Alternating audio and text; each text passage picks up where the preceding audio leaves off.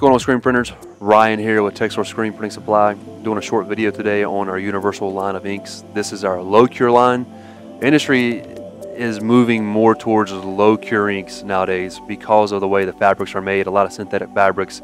Uh, your tri-blends or polyesters have a lot of problems when cured up to 320 degrees. The fabrics have a lot of dye migration. So the industry is moving more towards low cure inks to prevent shirts from having dye migration, as well as a lot of tri-blend shirts. If you've noticed, they tend to shrink when cured at 320 degrees with certain color shirts. Uh, some will melt. So this line of universal, this is our universal line.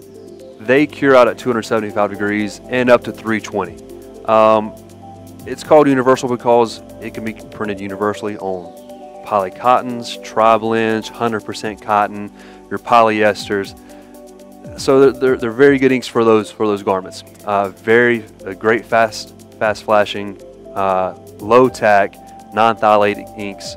Um, got a bucket here here that's open. Our National Red that is shows the creaminess of these universal inks. Um, but yeah, so the reason why the universal or low cure inks were made was to mitigate the problems of dye migration and shirts shrinking. Uh, another great benefit of having low cure inks in your shop is being able to lower your dryer temperature. This also saves on energy bill, uh, lower costs when it comes to power, so saving money on that as well, as well as not having to trash any shirts in your shop. Um, but yeah, so our universal line of inks, we have 10 colors in stock.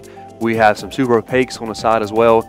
We are also offering a six pint kit so that if you're interested in trying to start in low cure inks, uh, we have we are offering this small kit for a hundred bucks, I think. Um, it gets you started with six colors: your white and black, uh, red, blue, and gold. Hope you guys found this video great. Visit us online at screenprintingsupply.com for more videos, more information.